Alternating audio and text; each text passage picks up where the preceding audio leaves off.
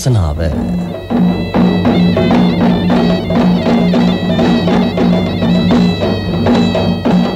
අද ධර්මානුශාසනාව පවත්වනු ලබන දේශකයාණන් වහන්සේ හම්බන්තොට උඩමලල වෙහෙරගල ආරණ්‍ය සේනාසන වාසී පූජ්‍යපාද රෙදේගම ඉන්දාලෝක ස්වාමීන්ද්‍රයාණන් වහන්සේ. සමන්තා චක්කවාලේසු අත්‍රා ගච්ඡන්තු දේවතා සද්දම්මං මුනිරාජස්ස සුනන්තු සග්ග මොක්කදං ධම්මස්සවන කාලෝ අයං බදන්තා ධම්මස්සවන කාලෝ අයං බදන්තා ධම්මස්සවන කාලෝ අයං බදන්තා.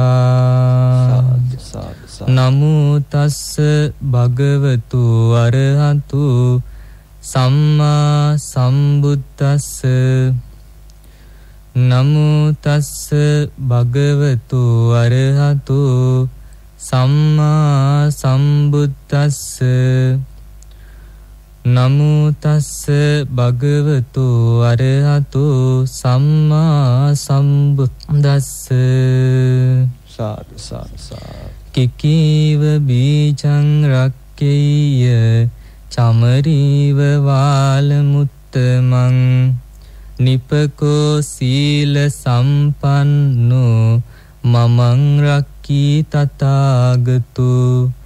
සබ්බමේතං අභිඤ්ඤාය ධම්මරාජා පිතා මම සම්මුඛා බික්කු සංගස්ස ඒත දග්ගේ ටපේ සිමං සික්කා කාමානහං අග්ගෝ ධම්මරාජේන තෝමිතෝ සද්දා පබ්බ ජිතානංච සහායෝ පවරෝ මම. ධම්මරාජා පිතාමයියං ධම්මරක්කෝච පෙත්තියෝ. සාරිපුත්තෝ උපජ්ජායෝ සබ්බං මේ ජිනසාසනංති පිංතුනි තුන්ලෝකාග්‍රෝ භාග්‍යවත් අරිහත් සම්මා සම්බුදුරජාණන් වහන්සේගේ සම්මා සම්බුදු සසුනේ පිහිට ලැබෙන සැනසීල ලැබෙන මොහොතක අද ලෝතුරා බුදුරජාණන් වහන්සේගේ සසුන සෝභමාන කළ උතුම් ශ්‍රාවක රත්නය බුදුපුතනුවන් වහන්සේ වන රාහුල මාරහතන් වහන්සේ පිළිබඳ දේශනා කිරීමයි මාතෘකාව වන්නේ. කල්ප ලක්ෂයක් තරම් දුරයත් අතීත ඉඳගෙන ලෝතුරා බුදුරජාණන් වහන්සේ නමකගේ ගී කල පුතනුවන් වශයෙන් ඉපදිලා ශ්‍රාවකයන් වහන්සේ නමක් වශයෙන් අරිහත්වයෙන් නිවන් දකින්න ප්‍රාර්ථනා කරගෙන ආපු උතුම් ජීවිතයක් උන්වහන්සේට තිබුණා. පදුමුත්තර බුදුරජාණන් වහන්සේගේ පුතණුවන් වන උපරේවත ස්වාමින් වහන්සේ දැකලා අතීතේ ප්‍රාර්ථනාවක් ඇති කළා මේ බුදුරජාණන් වහන්සේ යම්සේද මේ පුතණුවන් වහන්සේත් එසේමයි. අනුරුවක් වගේමයි. ඉතින් මටත් මතියම් දවසක එවනිම ලෝතුරා බුදුරජාණන් වහන්සේ කෙනෙකුගේ පුතෙක් වෙන ලැබෙනවා නම් කොච්චර හොඳයිද කියලා පින් කළා බුදුරජාණන් වහන්සේට වන්දනා කරලා ප්‍රාර්ථනා කළා. එදා පදුමුත්තර බුදුරජාණන් වහන්සේ මේ පින් ඇති ශ්‍රාවකයන් වහන්සේ නමක් වී මේ ප්‍රාර්ථනාව මතුවනාගතේ මුදුන් පැමිණෙනවා කියලා නියත විවරණ ලබා දුන්නා. එතෙන් පටන් පිළිවෙලින් අදහිට ලැබෙන දෙයක් සේම සතුටින් ඒ උතුම් ශ්‍රාවක බෝධිය වෙනුවෙනුයි පාරමී පිරුවේ. එසේ පාරමී ගමන ගමන් ගනිද්දි බොහෝ ආත්මවල මහබෝස්ථානන් වහන්සේගේ කීකරු දරුවෙක් වෙලා ඉපදුනේ. විසතුරු ආත්ම භාවය මතකයි.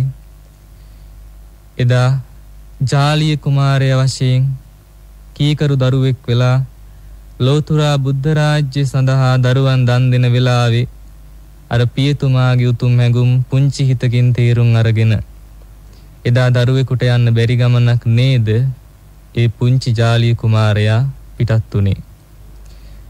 පුංචි වයසේ පුංචි දරුවෝ නමුත් හිතේ මහා පුණ්‍ය බලයක් පාරමී ශක්තියක් තිබුණා. පියතුමාගේ හිත මොනතරම් කාරුණික හිතක්ද කියලා අවබෝධ කරගෙන තිබුණා. වෙන දරුවෙකු නම් දෙමව්පියන්ට සාප කරනවා අපි මෙහෙම දාසයෝ කළා. අපිව මේ දුක් විඳින්න දුන්නා කියලා හිතෙන් තිබුණා. නමුත් පියතුමාගේ සංසාරගත හිත ලෝතුරා බුද්ධ රාජ්‍ය දක්වා මේ යන ගමනක් නේද අපිටත් ඒ අපේ පියතුමාට උපකාර වුණොත් ඒ ලෝතුරා බුද්ධ රාජ්‍යයෙන් සැනසෙන ලැබෙනවා කියන අදහසින් නේද ගමන් කළේ. පියතුමනි ඔබ වහන්සේට ලෝතුරා බුදුබව ලැබෙනවා නම් අපි ඕන කෙනෙකුට දෙන්න අපේ ජීවිතේ වුණත් අපි දෙන්න කැමති පියාණනි ඔබ වහන්සේටද මතු ලෝතුරා බුද්ධ රාජ්‍ය ලැබේවා අපටත් නිවන් දකින්න ලැබේවා කියලා දායි දරුවෝ ප්‍රකාශ කළා. බලන්න කොයිතරම් එතකොට ගුණයක් හිතේ දියුණු වෙලාද. ඒ ගුණ හිත දියුණු වුණේ ඔය සංසාරේ පිරූ පාරමී බලයෙන්. ඒ පෙරුම්දම් බලය මුදුන්පත් කරගෙන ආත්මයෙන් ආත්මයට පැමිණියා. එක ආත්මයක් දෙකක් නෙවෙයි දහස් ගණන් ලක්ෂ ගණන් ආත්මවල දරුවෙක් වශයෙන්ම බෝසතාණන් වහන්සේට ඉපදුනේ. එපමණක් නෙවෙයි වචනේ හික්මුණා කීකරු වුණා බොහෝ ආත්මවල සඳහන් කරන ඔය පිළිබඳව. බුදුරජාණන් වහන්සේ ලෝතුරා බුදු බවට පත් වුණාට පස්සේ මේ රාහුල කුමාරයා නැත්නම් රාහුල පුතණුවන් වහන්සේ පිළිබඳ බොහෝ සෙයින් කළ ගුණ සැලකුවා. නැත්නම් යුතුයකම් ඉටු කළා. ලෝකේ දරුවන් ඉන්න තාත්තලා දරුවන්ට යුතුයකම් ඉටු කරනවා. දරුවන් සකස් කරලා ಗುಣධර්ම වශයෙන් දිනු කළ උගන්වලා යම් තැනකටපත් කරනවා. මේ ලෝක වශයෙන් පිය කෙනෙකුගේ යුතුයකම. මේ ලෝකේ දරුවන්ට කරන්න පුළුවන් ඉහළම යුතුයකම ලෝතුරා බුදුආමා මෑණියන් වහන්සේ විසින් සිද්ධ කළයි සිද්ධ කළේ ලෝක සත්‍යයන් සියලු දෙනා දරුවන් සෙහිතාගෙනයි ඒ භාග්‍යතුන් සංසාරයට බැසගත්තේ. සසර ගමනේ ඇස්තිස් මස්ලේ රාජ්‍ය අමුදරුවන් දන් දෙමින් මහා කැපකිරීම කළේ තමන් වහන්සේට තනියම නිවන් දකින්න බැරුව නෙවෙයි. දීපංකර පාදමූලයේදී සතර පදගාථාවකින් ධර්ම ශ්‍රවණය කළ අරිහත්වයට පත් වෙන තරම් පින් තිබුණත් නුවණැති වීරයවන්ත පුරුෂයෙක් එසේ එකලාව නිවන් දැකීම සුදුසු නෑ හරියට. කුසගින්නේ පෙළෙමින් අඬමින් වැළපෙමින් ඉන්න මහා පිරිසක් මැද අමෘත භෝජනයක් ලැබිලා කරුවල කාමරයකට ගිහලා හැංගිලා ඒක තනියෙන් අනුභව කරනවා අර මිනිස්සු දිහා බලන්නේ නැතුව අන්න ඒ වගේ වැඩක් තමයි මම තනියෙන් නිවන් දැක්කොත්. ඒ නිසා නිරේ තිරිසම් പ്രേත අසුර සතර අපායද මනුෂ්‍ය ලෝක ඉපදීම් ලෙඩමි වයසට යා මරණාදී අප්‍රමාණ දුක් වලින්ද දුක් විඳින්නා වූ සියලු සත්වයන්ට උපකාර වෙන්නට පිහිට වෙන්නට සසර සැවරෙන් ඈතර කරන්නට සියලු සත්‍යයන් දරු කැලක්සේ සිතාගෙනයි සංසාරයට බැසගෙන සාරා සංකල්ප ලක්ෂයක් පුරා නියත වශයෙන් පාරමී සපුරාගෙන විල්ලා එදා ජයශ්‍රී මහා බෝධි මූලයේදී ලෝතුරා බුද්ධ රාජ්‍යයට පත් උනේ. ලෝතුරා බුද්ධ රාජ්‍යයට පත් උනේ 29 වෙනි වයසේදී මේ රාහුල කුමාරයා උපන් දවසේමයි ගිහිගේ නික්මුනේ. රාහුලං ජාතෝ බන්ධනං ජාතෝ වශයෙන් මේ මුවෙන් පිට වුණා මේ කුමාරය ඉපදුණු බව දැනගත්තා. ඒ නිසාමයි රාහුල කියන නම යෙදුනේ. රාහුල කියන්නේ බන්ධනයට. රාහුල කියන නමේ තේරුම බන්ධනයක් වුණත් ඒ රාහුල පුතණුවන් බන්ධනයක් වුණෙත් නෑ. සසර බන්ධනේ නිදහස් වුණු කෙනෙක්. නම ලැබුණ රාහුල වශයෙන් අවුරුදු 7ක්ම තමන්ගේ පියතුමා කවුද කියලා ඇස් දෙකින් දැකලා තිබුණේ. අවුරුදු 6 දුෂ්කර ක්‍රියා කරූ මහබෝසතාණන් වහන්සේ ලෝතුරා බුද්ධ රාජ්‍යයටපත් වෙලා වර්ෂයක් ගත වුණා. ඒ වර්ෂය ගත වෙලා වෙසක් පුන් පොහොව දවස උදා වෙන දවසේ හරියටම කිඹුල්වත්පුරයට වැඩම කළා. ඥාතීන්ට වෙසතුරු ජාතක ආදී දේශනා, බුද්ධ වංශ දේශනා ආදී දේශනා කළා. මහත් ධර්ම සැනසෙල්ලක් මේ සාක්කි ජනපදයට ලැබුණු දවස.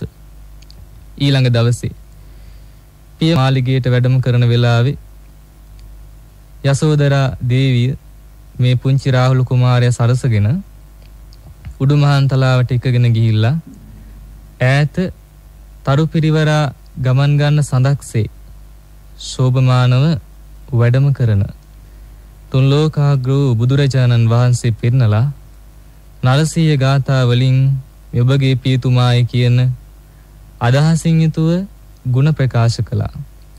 පුන් සඳක් තරුවට කරගෙන ගමන් කරනවා වගේ අර මහා සංගරුවන පිරිවරාගෙන ඉදිරියෙන් වැඩම කරන්නේ දරුව නුඹේ පියතුමා. ඒ නිසා දරුව එතුමා සාමාන්‍ය කෙනෙක් නෙවෙයි පැවිදි වෙලා හිටියට. එතුමාට මහ පොළොව තුල සතර මහා නිදානයක් තියෙනවා. පියතුමාගේ දෙයයිති පුතාට. ඒ නිසා පුතේ ඒ පියතුමාගෙන් නුඹේ රාජ්‍යයට දායාද ඉල්ලගෙන එන්න කියලා මේ අම්මා රාහුල කුමාරයව පිටත් කළා.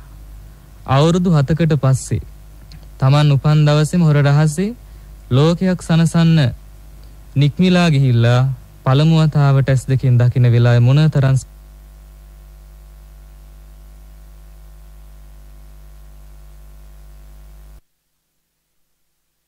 පත් වෙනවා තාත්තා දැක්කා කියන සතුට. ඒ වගේම තවත් සතුටක් ඇති වෙනවා සාමාන්‍ය තාත්තලා වගේ නෙවෙයි බොහොම වෙනස්. එක දරුවෙක් දෙන්නෙක් නෙවෙයි ලක්ෂ ගණනක් කෝටි ගණනක් ශ්‍රාවක දරුවෝ ඉන්න පිය කෙනෙක් නේ. ඒ නිසා ඒ දර්ශනය දැකලා බොහෝම සැනසුණා සතුටු වුණා. ඒ වගේම අර කුමාරවරු 500ත් එක්ක පිය ගැටපිළ දිගේ දුවගෙන ගිහිල්ලා බුදුරජාණන් වහන්සේ වඩින මගේදී උන්වහන්සේගේ පස්සෙන් දුවලා ගිහිල්ලා අර සිවුරෙල්ලුණා. සිවුරෙල්ලිලා කියනවා සුඛාතේ සමන ඡායා ශ්‍රමණයන් වහන්සේ නුඹ වහන්සේගේ සෙවණැල්ල මට සැපයි. නුඹ වහන්සේගේ පහස මට සැපයි. නුඹ වහන්සේ ළඟට වෙලා ඉන්න මං කැමතියි. ස්වාමීනි ඔබ වහන්සේ මං පුංචි කාලේ මාවත් ඇල්ල ගියා කියලා මං දන්නවා. නමුත් ස්වාමීනි මං තරහ නැහැ. ස්වාමීනි ඔබ වහන්සේ ළඟ නිදාන තියෙනවා, දායාද තියෙනවා. ඒ නිදාන මට දෙන්න මගේ දායාද වශයෙන් කියලා. බුදුරජාණන් වහන්සේත් මේ කුමාරයා අතින් අල්ලගෙන රජමාලිගාවට වැඩම කළා. මේ දර්ශනීය දැකපු ඒ සාක්කි ජනපද වැසි මිනිස්සුන්ට හිතුණා අනේ අපිටත් මේ වගේ දරුසිරි දකින්න නැත්නම් අපටත් මෙවැනිම දරුසිරියක් වේවා කියන ප්‍රාර්ථනා කළා ඒ මොනකල කෙනෙක් නැති තරම්. හරියට සිංහ රාජයෙක් පසුපස යන සිංහ පැටවෙක් වගේ. ඇත් රාජයෙක් පසුපස යන ඇත් පැටවෙක් වගේ. සඳ පිරිවරාගෙන යන නැකත් තරුවක් වගේ. බුදුරජාණන් වහන්සේ අනුව යන පුංචි පුතෙක්. තමන් වහන්සේගේ දරුවා ගිහි කල. දෙතිස් මහා පුරුෂ ලක්ෂණින් බැබලෙන බුදුරජාණන් වහන්සේගේ බුදු කයසේම මේ කුඩා කයෙත් දෙතිස් මහා පුරුෂ ලකුණක් තිබුණා. හේතුව සක්විත රජ වෙන්නට පින තිබුණා. සක්විත රාජ්‍ය කරන්න පුළුවන් නම් දෙතිස් මහා පුරුෂ ලක්ෂණ ඇතුව උපදිනවා. ඒ නිසා බුදුරජාණන් වහන්සේ වැනි දෙතිස් මහා ලකුණක් දරුවා රෝම කූපේ පමණක් වෙනස් වෙනවා. සක්විත රජ කෙනෙක්ගේ ආකාරයට. බුදුරජාණන් වහන්සේ දහම් දෙසන තුරුත් දන් දන් වළඳන තුරු බුදුරජාණන් වහන්සේ ළඟින් සෙලවුණේ නැහැ. ගොඩාක් කාලයකට පස්සේ තමන්ගේ පියතුමාගේ සෙනෙහස ලැබෙනකොට දරුවෙක් ඒ විදිහේ හැඟීමකින් තමයි කටයුතු කරන්නේ. කිසිම තැනකට යන්නේ නැහැ. ආහාර ගන්න හිතකුත් නැහැ. යහළු මිත්‍රයන් ගැන හිතක් නැහැ. අම්මා ගැන මතක්ුනේත් නැහැ.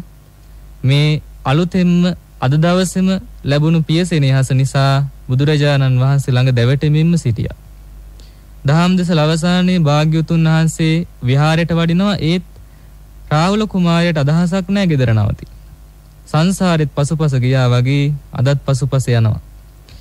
ඒ විදිහටම බුදුරජාණන් වහන්සේගේ සිවුරෙල්ලිලාම පසුපස්සෙම ගමන් කළා. බුදුරජාණන් වහන්සේ සමග යන ගමනක් නිසා කිසිම කෙනෙක් නවත්තන්න පුළුවන් වුණේ නැහැ. නවත්තන්න අවශ්‍ය වුණේ නැහැ මොකද තාත්තාගේ පුතා පියතුමාගේ දරුවා තාත්තට අයිතියක් තියෙනවා. අනිත් පැත්තෙන් බුදුරජාණන් වහන්සේ නැවැත්තුවෙත් නැහැ. මොකද තමන්ගේ පුත්‍රරත්නය.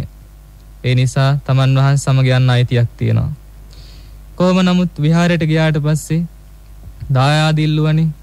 නිසා බුදුරජාණන් වහන්සේ සාරිපුත්‍රයන් වහන්සේ කැඳවලා ප්‍රකාශ කළා සාරිපුත්‍රය මේ රාහුලයන් මගේ පුතණුවන්. ඔහු මගෙන් දායාද ඉල්ලනවා. මගේ පුතණුවන්ට දෙන දායාදයක් නම් ඒ නැති නොවන දායාදයක් වෙන්න ඕන. සාමාන්‍යයෙන් කැඩලා බිඳලා යන දායාද වගේ නෙවෙයි මේ ධර්ම දායාදය.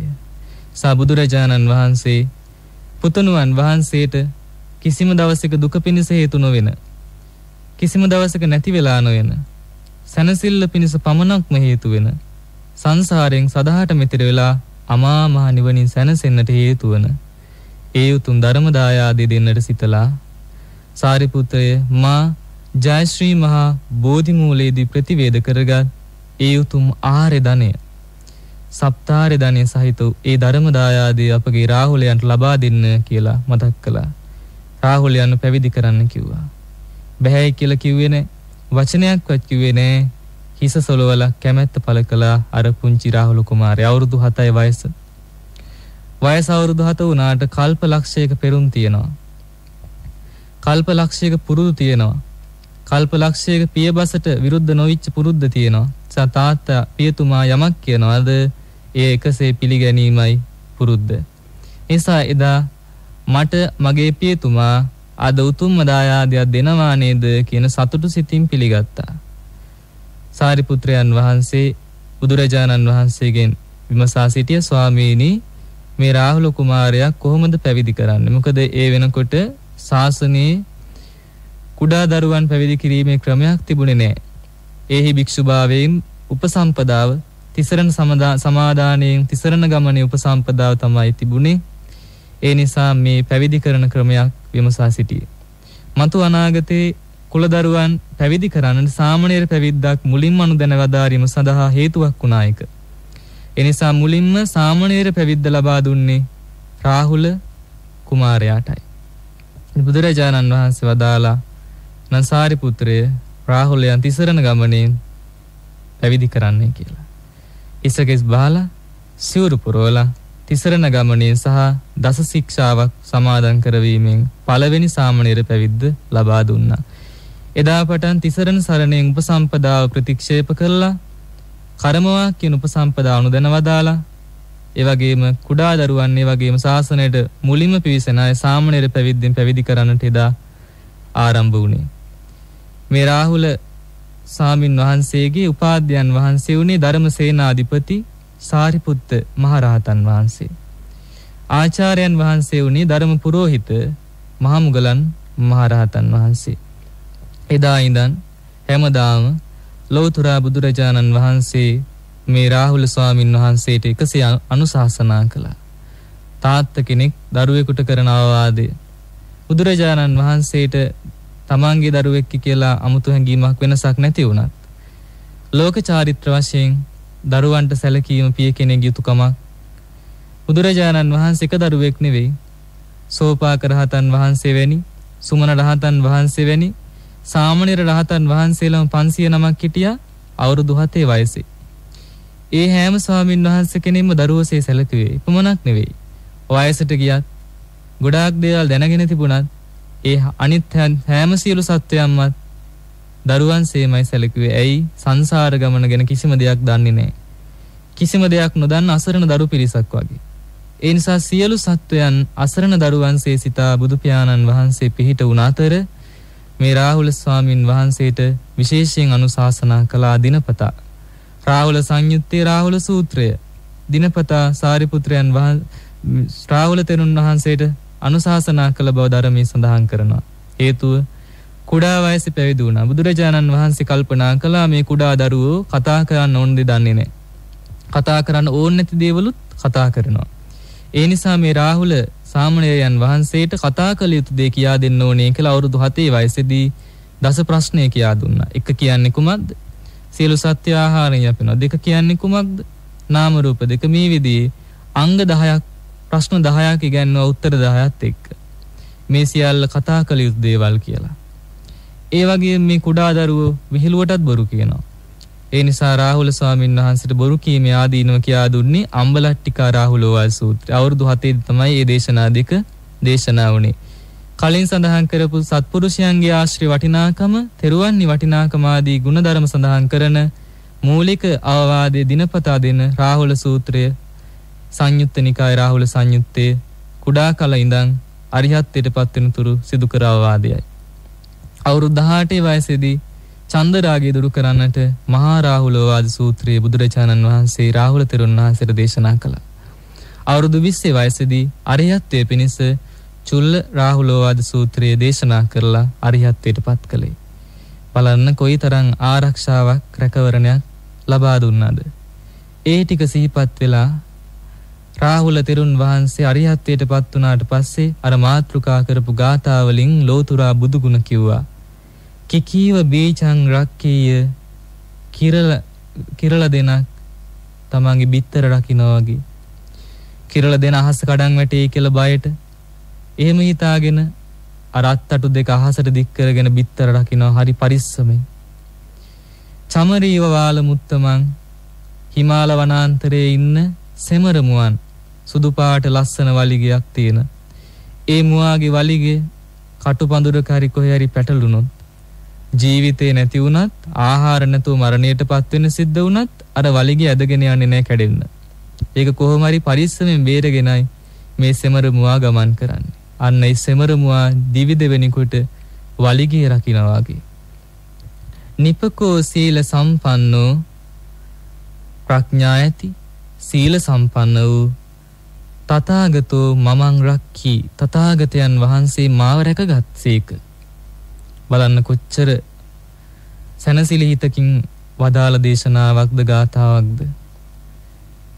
ගිහි කල පියාණන් වහන්සේ ලෝතුරා බුදුරජාණන් වහන්සේ තමන් වහන්සේව රක්ෂා කළේ කිරල දෙනෙක් බිත්තර රකිනා වගේ. සෙමරමුවෙක් වලිගේ රකිනා වගේ.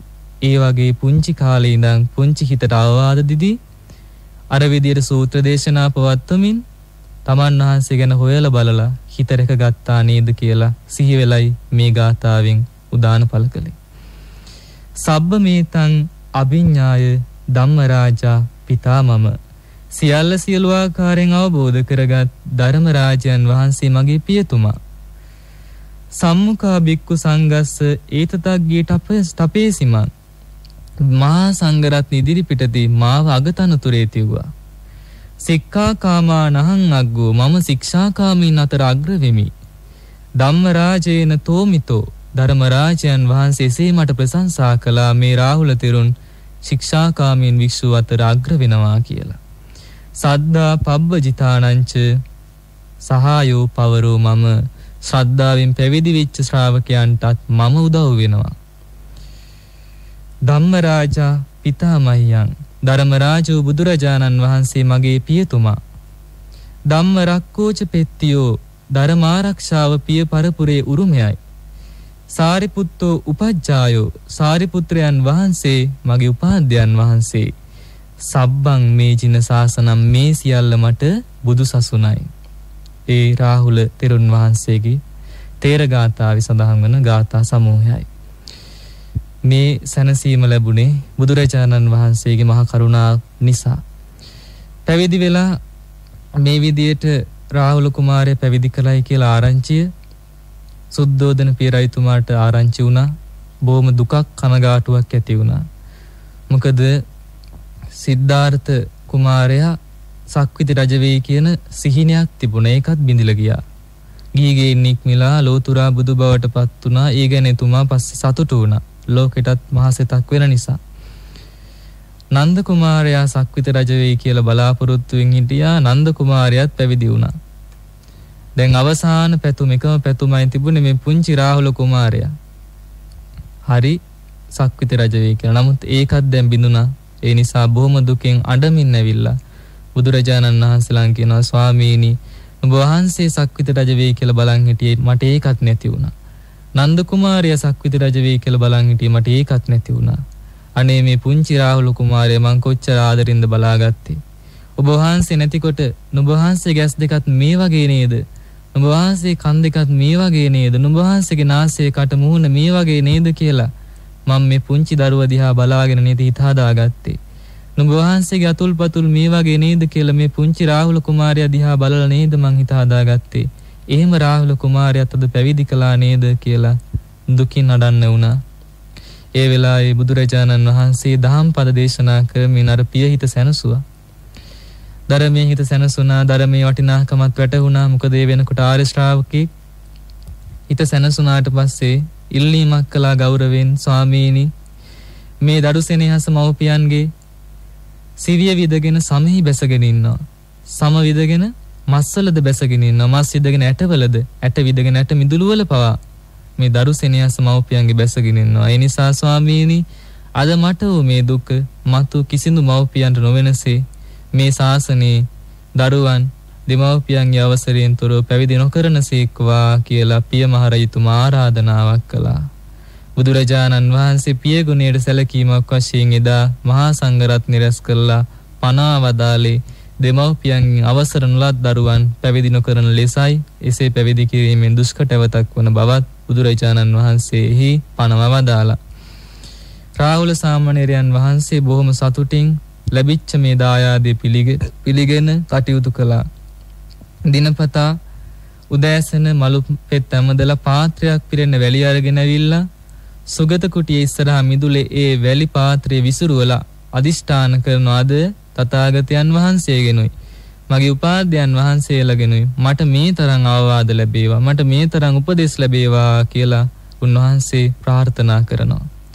ඒ තරම් අවවාද ලබන්න හරි කැමතියි. උන්වහන්සේ වත් පිළිවෙත්වල දක්ෂයි. බොහොම හොඳින් මිදුල් නැමදලා පිරිසුදුව තියෙනවා. මේ රාහුල ස්වාමින් වහන්සේගේ සාමණේරයන් වහන්සේගේ ඉවසීම බලන්නට එදා ස්වාමින් වහන්සේලා අර අතුගාප් මිදුලේ කුණු දාලා ඒ කොහු ඉදල්ලාදී වාජන සියල්ල ඒ මේ අත විසුරුවලා රාහුල තිරුන් වහන්සේ ළඟින් යනකොට මේ කවුද මේ විදිහේ වැඩක් කළේ? මේ රාහුල මේ පැත්තෙන් ගියා නේද කියලා මතක් කරනකොට තමන් වහන්සේ නොකලත් ඉක්මනට ඇවිල්ලා අර ඔක්කොම වාජන තැම්පත් කළා කුණු ඉවත් කළා. අනේ ස්වාමීනි වරදක් වුණා නම් සමා වෙන්නේ කියලා අර ස්වාමින් වහන්සේට වැඳලා තමන් නොකර වැරදට පවා සමාව ගන්න සිරිතක් පවා ඒ රාහුල ස්වාමින් වහන්සේට තිබුණා. වෙන දරුවෙක් නම් සාමාන්‍ය පෘථග්ජන හිතකින් ජීවත් වෙනකොට අපේ තාත් අපේ පියතුමා නේද මේ ශාසනයේ නියමුවා? ලෝතුරා බුදුරජාණන් වහන්සේ කියලා සාමාන්‍යයෙන් හිතෙන්න පුළුවන් කොච්චර හොඳින් කොච්චර ඉහළින් ඉන්න පුළුවන්ද? ඒ වගේ නිහතමානී වෙන්න ඕනේ නැහැ කියලා පෘථග්ජන හිත්වලට හිතෙන ඉඩ තියෙනවා. ඒක තමයි ලෝක ස්වභාවය. නමුත් මගේ තාත්තා ලෝතුරා බුදුරජාණන් වහන්සේ නිසා මං ඉහළින් ඉන්න ඕනේ අනිත් අය මං තකන්න හොඳ නැහැ කියන හිතක් නම් කිසිම දවසක ඇති වුණේ නැහැ. මගේ පියතුමා ලෝතුරා බුදුරජාණන් වහන්සේ මම් පුතණුවන් එහෙනම් පියතුමාගේ ගෞරවය රැකෙන්න මම තවත් වැඩිපුර හොඳින් හික්මෙන්න ඕනේ කියන හිතකුයි උන්වහන්සේට තිබුණේ. පියතුමාගේ ගෞරවය තව තවත් වැඩිපුර රැකීමේ පුත්‍ර හිතක් සෙනෙහසක් තිබුණා මේ බුදුරජාණන් වහන්සේ ගැන. ඒ නිසා බොහෝ සෙයින්ම උන්වහන්සේ හික්මුණා. ඒ වගේ නිහතමානී වුණා. සමාව අවසර ගත්තා. එසේ ජීවත් වුණා. ඒ කාලේ මේ ස්වාමින් වහන්සේලා සැතපෙන වෙලාවට බණහන්න පින්වතුන්ලත් එක්ක නිදාගන්නේ.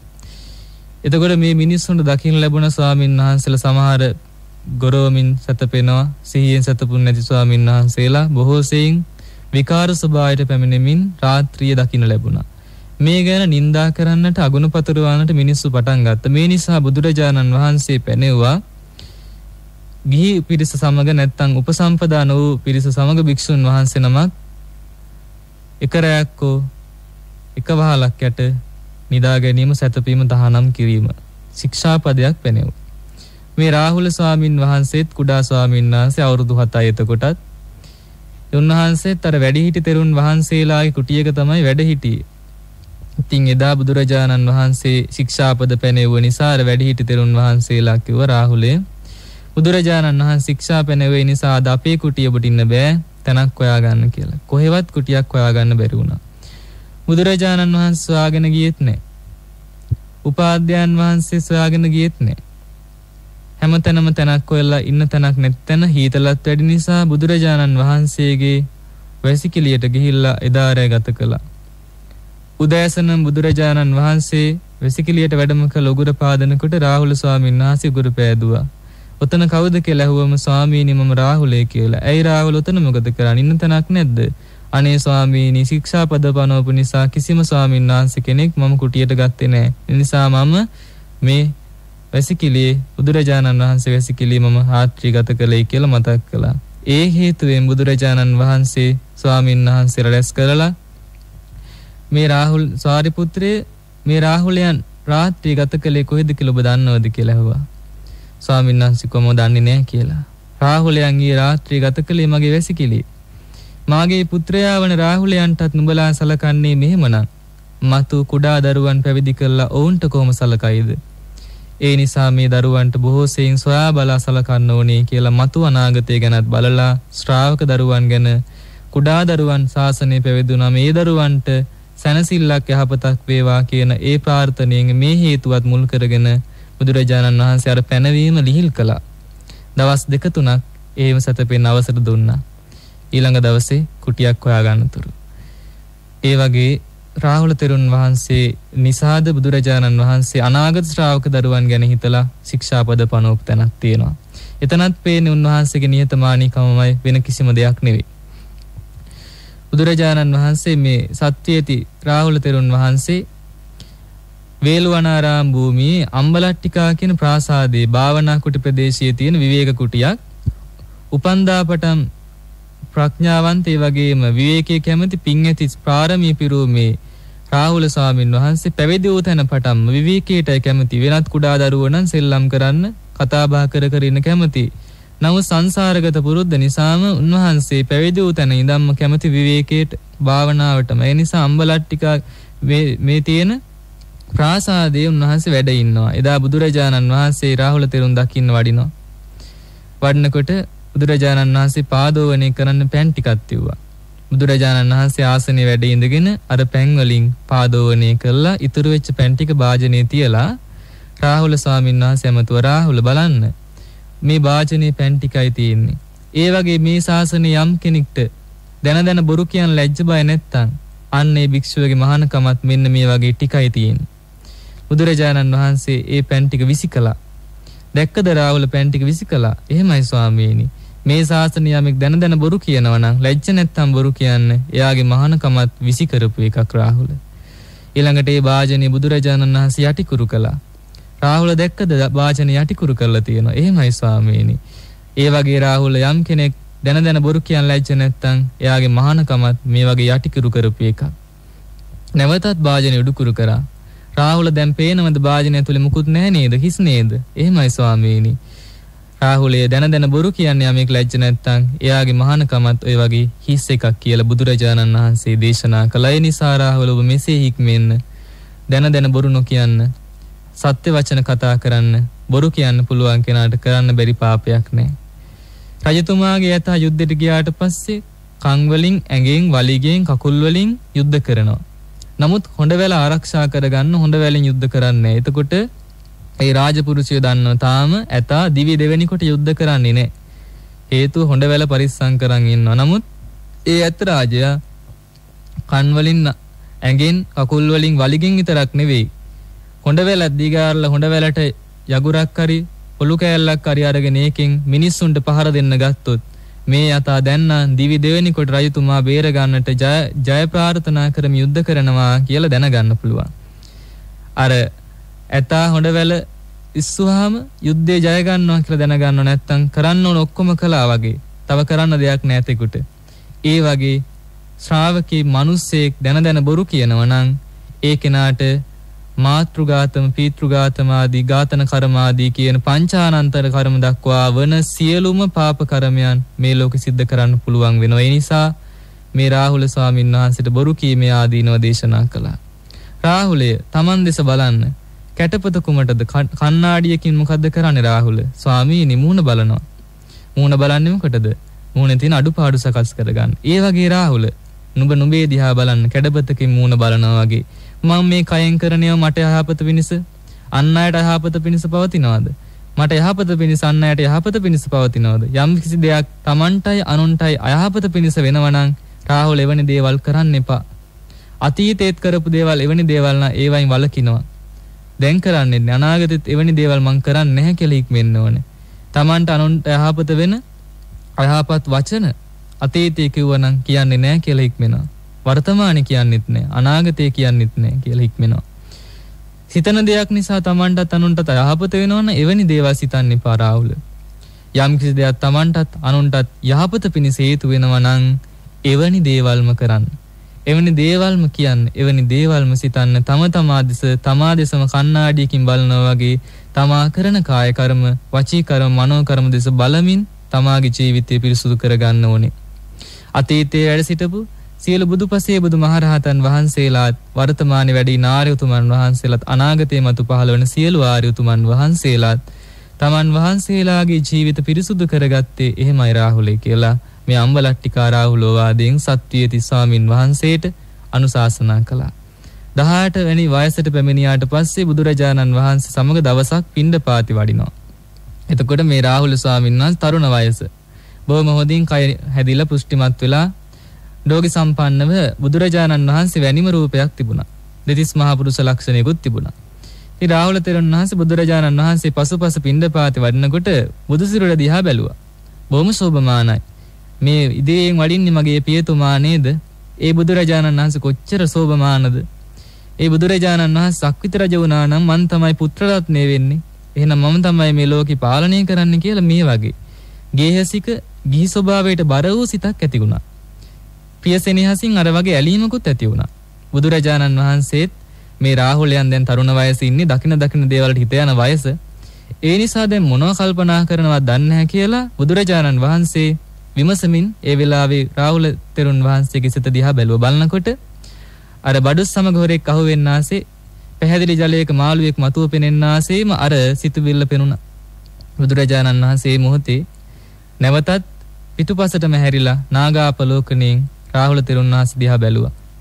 බලලා රාහුලය මේ රූපයට ආලය නොකළ යුතුයි. මේ රූපය කියන්නේ ඇති වෙලා පැවතිලා නැති වෙලා යන දෙයක්. අනිත්‍ය දෙයක්. ඒ නිසා රාහුල රූපය දිහා නුවණින් බලන්න රූපය අනිත්‍යයි කියලා බලන්න කියලා දේශනා කළා. රාහුල ස්වාමීන් වහන්සේව ඇයි ස්වාමීනි රූපේ විතරක්ද අනිත්‍ය? නෑ රාහුල වේදනාවයි සංඥාවයි සංකාරයි විඥානයි මේ සියල්ලම අනිත්‍යයි කියලා ඔබ වඩන්න. ඔබ සිහි කරන්න මේ රූපයන්ට බැඳෙන්න එපා කියලා අවවාද කළා. හේතුව රාහුල ස්වාමීන් වහන්සේ උපතින් ප්‍රඥාවන්තයි. බුදුරජාණන් වහන්සේක කරුණක් කිව්වොත් දහ ගුණයකින්වත් තේරුම් ගන්නවා. ඒ නිසා එකවර දපෙන්නෝ ස්වාමීනි මේවත් ඇරදි නේද? මේවත් ඇරදි නේද කියලා ඒ වැරදිත් අහලා දැනගන්නවා. එපමණක් නෙවෙයි සම්මුඛ බුදුරජාණන් වහන්සේ ඒ වරද කාගේවත් අතේ එව්වෙත් නැහැ. පස්සේ කියන්නම් කියලා තියාගත්තේ නැහැ. ඒ වෙලාවේ කෙලින්ම ඒ වරද ප්‍රකාශ කළා නේද? මේ සුගතයන් වහන්සේගේ සුගතෝ වාදේ ලැබීම නම් කොච්චර දුර්ලභ දෙයක්ද? කල්ප කෝටි ගණනකින්වත් සුගතයන් වහන්සේ නමක්ගේ සුගතෝ වාදේ ලැබෙන්නේ නැහැ. ඒ නිසා මේ සුගතෝ වාදේ අද ලැබිච්ච මම පින්ඩපාත යන්නේ මොකටද? ඒ සුගතෝ වාදේ පිළිපදින්න ඕනේ කියලා. උන්වහන්සේ එහෙම නැවතුණා. නැවතිලා ගහක් මුලට ගිහිල්ලා වාඩි වුණා. බුදුරජාණන් වහන්සේත් රාහුල පින්ඩපාතේ වඩින්න ඕනේ කියලා කතා කළේ නැහැ. උන්වහන්සේ ඉඩ දුන්න භාවනා කරන්න. ඒ නිසා දාණයට වඩින්න නැතුව පරියන්කයක් බැඳගෙන අර රූප කර්මස්ථානයේ අනිත්‍ය වශයෙන් මෙනෙහි කර විදර්ශනා වඩමින් හිටියා. සාරිපුත්ත රහතන් වහන්සේ බුදුරජාණන් වහන්සේ සමග වැඩ ඉන්නකොට ටික විහාරේ කලින් පිණ්ඩපාතේ වඩින්නේ උන්වහන්සේ ටිකක් ප්‍රමාද වෙලා අර සක්විති රජතුමා ගමනක් ගියාට පස්සේ පසුව පරිනායක රත්නේ පුත්‍ර රත්නේ සියලු කටයුතු සංවිධානය කරමින් පැමිණෙනවා වගේ බුදුරජාණන් වහන්සේ බුදු පියාණන් වහන්සේ මුලින් වැඩම කරාට පස්සේ මේ අග්‍ර ශ්‍රාවක සාරිපුත්ත මහරහතන් වහන්සේ ඒ විහාරයේ සියලු කටයුතු සොයා බලනවා. ඇමදුපු නැති තැන් අමදලා තරුණ ස්වාමීන් වහන්සේ ළඟට ගිහලා අවවාද කරලා ගිලම් භික්ෂුන් වහන්සේ ළඟට ගිහලා අවශ්‍ය දේවල් විමසලා බලලා දොර ජනෙල් වහලා නැත්නම් ඒවත් වහලා බොහොම සොයලා බලලා ශාසනය ගැන හැඟීමකින් යුතුවයි උන්වහන්සේ වැඩම කරන්නේ. නිසා ටිකක් ප්‍රමාදෙලා වැඩම කරනකොට දැක්කා රාහුල ස්වාමීන් වහන්සේ වාඩි වෙලා භාවනා කරනවා. උන්වහන්සේ ළඟට ඇවිල්ලා කිව්වා රාහුලේ ආනාපාන සතිය වඩන්න. රාහුලේ ආනාපාන සතිය වඩන්න හේතුව වැඩ ඉඳගෙන කරන්න පුළුවන් කය ඍජු කරගෙන ඉන්න නිසා කරන්න සුසු කර්මස්ථානයක් ආනාපාන සතිය. බුදුරජාණන් වහන්සේ රූප කර්මස්ථානයේ දීප බව මෙනෙහි කරන්නේ නැතුවයි සාරිපුත්‍රයන් වහන්සේ එහෙම දේශනා කළේ. නමුත් පින්ඩපාතේ සඳහා දැන් බුදුරජාණන් වහන්සේ රාහුල තෙරුන් වැඩියේ නැහැ කියලා කාගේ හරි අතේ දාන යවුවෙත් නැහැ. තමන් වහන්සේ අරගෙන ගියෙත් නැහැ. රජවරුන්ට මතක් කළෙත් නැහැ. රාහුල තෙරුන් වහන්සේට බුද්ධාවාදේ කරන්න දයිඩ දුන්නා. ඒ වගේ උපාධ්‍යයන් වහන්සේ සාරිපුත්‍රයන් වහන්සේ දාන ටිකක් යවුවෙත් නැහැ. රාහුල තෙරුන්ට හිතුනේ නෑ බුදුරජාණන් වහන්සේ මට දාන ටිකක් එවයිනේ. නැත්තම් කාගේ හරි අතේ එවයි නේද? නැත්තම් මගේ උපාධ්‍යයන් වහන්සේ මට දාන එවයි කියලා හිතුනෙත් නෑ. එහෙම එව්වේ නැහැ කියලා තරහ හිතුනෙත් නෑ. උන්වහන්සේ ගැන හිතක් පහල කළේවත් නෑ. එදා දවසේම निराහාරින් හරි බුදුරජාණන් වහන්සේගේ අවවාදය කරනවා කියලා හවස් වෙනකම් මෙතන භාවනා කළා. භාවනා කළා ඒ වගේ මිතුන මම බුදුරජාණන් වහන්සේගේ අවවාද පිළිගත්තා. නමුත් උපාධ්‍යයන් වහන්සේ කිව්ව ආනාපාන සතිය වර මට ඒක කරන්න බැරි වුණා. යම් කෙනෙක් උපාධ්‍යයන් වහන්සේගේ වචනේ කරන්නේ නැත්නම් අකීකරු ශික්ෂයෙක් වෙනවා. ඒ නිසා මම බුදුරජාණන් වහන්සේගෙන් අහගන්න ඕනේ ආනාපාන සතිය වඩන හැටි කියලා. අවස්සරුවේ වැඩම කළා බුදුරජාණන් වහන්සේට වන්දනා කළා. ස්වාමීනි කෙසේ වඩන ලද ආනාපාන සතිය මහත්ඵල මහානිසංස වෙනවාද කියලා විමසලා විස්තර වශයෙන් මේ දැනගත්තා. එය මහා රාහුලෝවා සූත්‍රයේ දේශනා වෙනවා. නමුත් මුලින්ම රාහුල තෙරුන් වහන්සේට ආනාපාන සතිය දේශනා කළේ නැහැ බුදුරජාණන් වහන්සේ. අර රූපයන් කෙරෙහි ඇලීම ඇති වෙන වයස නිසා පඨවි ආපෝ තේජෝ වායෝ කියන මේ සතර මහා ධාතුන් පිළිබඳ අනිත්‍ය වඩන හැටි විදර්ශනා කරන හැටි කියලා දුන්නා. ඊළඟ පොළොව වගේ භාවනා කරන්න කිව්වා. මේ පොළොවට පිරිසුදු දේවල් අපිරිසුදු දේවල් මොනවද දැම්මත් පොළොව තරහ වෙන්නේ නැහැ ඇලෙන්නේ නැහැ. අන්න ඒ වගේ කිසි කෙනෙක් ඇලෙන්න ගෙටෙන්නේ නැතුව භාවනා කරන්න. ජලය වගේ භාවනා කරන්න කිව්වා. ඒ කියන්නේ ජලයේ පිරිසුදු දේවලුත් හොදන අපිරිසුදු දේවලුත් හොදනවා. ඒ ජලය තරහ වෙන්නෙත් නැහැ.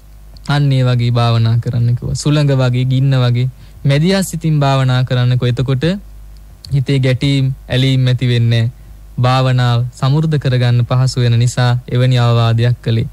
ඊළඟට මෛත්‍රිය මුදිතා කරුණා උපේක්ෂා සතර බ්‍රහ්ම විහරණයන් වඩන්න. ඒ කියන්නේ තරහට විසඳුමක් වශයෙන් ඊළඟට කායගත සතිය වඩන් රාගයට සුදුම් වශයෙන් මෙසේ අනුශාසනා කළ ආනාපාන සති කර්මස්ථාන ලබා දුන්නේ 18 වෙනි වියේදී.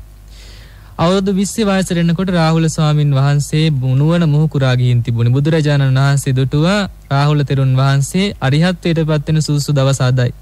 ඒ නිසා බුදුරජාණන් වහන්සේ රාහුල තෙරුන් වහන්සේට කිව්වා රාහුලේ අපි අන්දවනේට යමු විවේකයෙන් ඉන්න. බුදුරජාණන් වහන්සේ පසුපස්සේ මේ රාහුල ස්වාමින් වහන්සේ වැඩම කළා.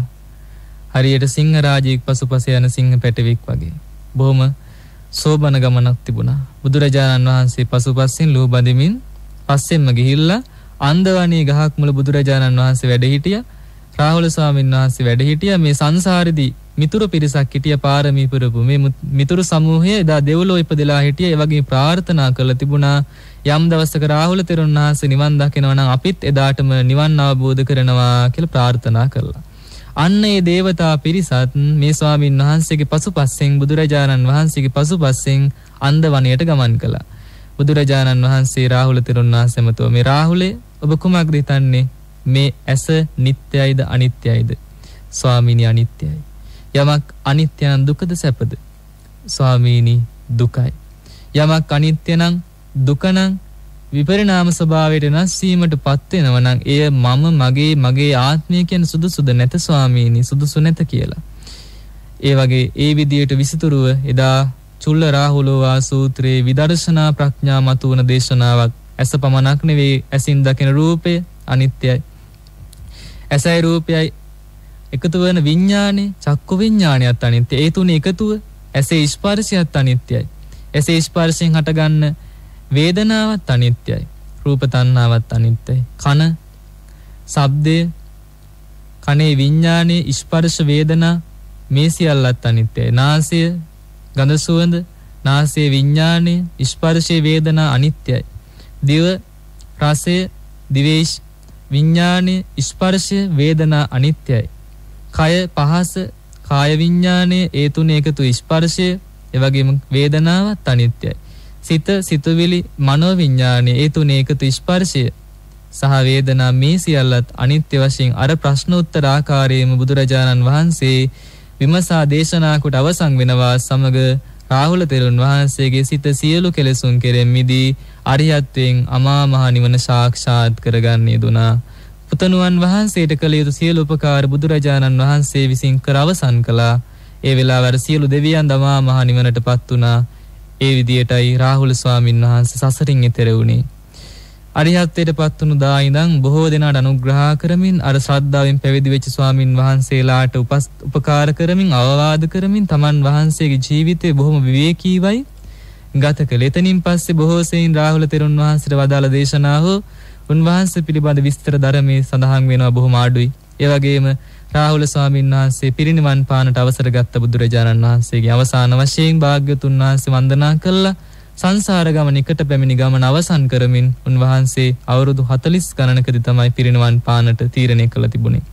බොහොම අඩු වයසකින් රාහුල ස්වාමින් වහන්සේ පිරිනිවන් පෑවේ. උන්වහන්සේ පිරිනිවන් පාන තෝරාගත්තේ තාවතිංස දෙව්ලොව හේතුව ඒ දෙවිවරු බොහෝ දෙනා කැමැත්තෙන් හිටිය රාහුල ස්වාමින් වහන්සේ දෙව්ලොවදී පිරිනිවන් පානව දකින්න හේතුව සංසාරේ මිතුරු පිරිසක් නිසා. එකටම නිවන් අවබෝධ කළා ඒ වගේ ඒ රාහුල තෙරුන් වහන්සේ තමන් දෙවියන් ළඟම තමා ළඟම පිරිනිවන් පානව දකින්න කැමති ඒ නිසා ස්වාමීනි මේ දෙවිවරු මා වඩිනතුරු බලා ඉන්නවා එහිදී පිරිනිවන් පාන මට අවසර ලැබේවා කියලා බුදුරජාණන් වහන්සේට සමුදීලා වන්දනා කරලා අවසාන වශයෙන් සසරින් නික්මිලා වෙන් විලා පියසෙනෙහසක් දරුසෙනෙහසක නිමා වශයෙන් සසර ගමනින් නිමා වූ කෙලෙසුන් කෙරෙන් නිමා වූ උතුම් සර්වඥතා ඥානය ලැබූ බුදුරජාණන් වහන්සේද අරිහත්යෙන් අමාමා නිවන් සුව ලැබූ රාහුල තෙරුන් වහන්සේද වෙන් වෙලා අවසන් වශයෙන් සමුදුන්නා. දෙව්ලොවට වැඩම කළ දෙව්ලොවදී පරිනිර්වාණයට පත් වුණා ඒ රාහුල තෙරුන් වහන්සේ ගුණ නිදානිය අප්‍රමේයයි බලන්නට සංසාර ගමනෙත් කීකරු වෙලා ඇවිල්ලා මේ ජීවිතේ ශික්ෂාකාමීන්ගේ අග්‍රභාවයට පත් වුණා බුදුරජාණන් වහන්සේගේ පුත්‍රයා බවටත් පත් වෙන ලැබුණා. එක පැත්තකින් ගිහි කාලේ පියතුමා වුණා ඒ වගේම ශාසනයේ පියතුමා වුණා. දෙපැත්තෙම පිය කෙනෙක් වුණා. ඒ වගේම ඒ පියතුමාට හොඳ දරුවෙක්ද වුණා. ඒ දරුවෙක් වශයෙන් පියතුමාට කළ යුතු සැලකීම කීකරුවීමමයි බුදුරජාණන් වහන්සේ වදාළ ධර්මය පිළිගත්තා. ඒ ධර්මය පිළි අරගෙන ධර්මයේ දියුණු කළා බුදුරජාණන් වහන්සේ බලාපොරොත්තු වෙච්ච ඒ අමා මහ නිවන සාක්ෂාත් කරලා උතුම් බුද්ධ පූජාව කළ රාහුල තෙරුන් වහන්සේ පිරිනිවන් පාවදාලා. උන්වහන්සේගේ ගුණය අනන්තයි අප්‍රමාණයි. ශික්ෂාකාමී බවෙන් අගතැන්පත් වූ අනන්ත ගුණ දරන්නා වූ බුදුරජාණන් වහන්සේගේ පුත්‍රරත්නය වන ඒ රාහුල තෙරුන් වහන්සේගේ අනන්ත ගුණයන්ට අපගේ নমස්කාරයම වේවා කියලා ප්‍රාර්ථනා කරමු. ඒ උතුම් තෙරුන් වහන්සේගේ ගුණ ජීවයෙන් අපේ හිතටත් යම් සැනසෙල්ලක් ලැබුණා නම් ඒ අනන්ත සැනසිලි බලේ අනන්ත පුණ්‍යානුභාව බලයෙන් අප සියලු දෙනාට එසේම උතුම් ශ්‍රාවකයන් වහන්සේලාසේ හික්මෙමින් සංවර වෙමින් කීකරුව නිවන් මඟ පාරමී පුරා නිවනින් සැනසෙන්න ලැබේවා කියන ප්‍රාර්ථනාව ඇති කරගමු. දෙවියන් සහ සියලු ලෝකවාසත්වයන්ටත් අපටත් උතුම් අජරාමර සංඛ්‍යාතු නිවන් සුව පිණිස හේතු වේවා කියලා ප්‍රාර්ථනා කරමු. ආකාසට්ටා ච බුම්මට්ටා දේවා නාග මහිද්దికා පුඤ්ඤන්තං අනුමෝදිත්වා චිරං රක්칸තු සාසනං ආකාසට්ටාච බුම්මට්ටා දේවානාගා මහිද්దికා පුඤ්ඤන්තං අනුමෝදිත්වා චිරං රක්칸තු දේශනං ආකාසට්ටාච බුම්මට්ටා දේවානාගා මහිද්దికා පුඤ්ඤන්තං අනුමෝදිත්වා චිරං රක්칸තු ත්වං සදා සාදු සාදු සාදු අද ධර්මානුශාසනාව පැවැත් වූ දේශකයාණන් වහන්සේ හම්බන්තොට උඩමලල වෙහෙරකළ ආරණ්‍ය සේනාසන වාසේ පූජ්‍යපාද රෙදියගම ඉන්දාලෝක ස්වාමින්ද්‍රයාණන් වහන්සේ.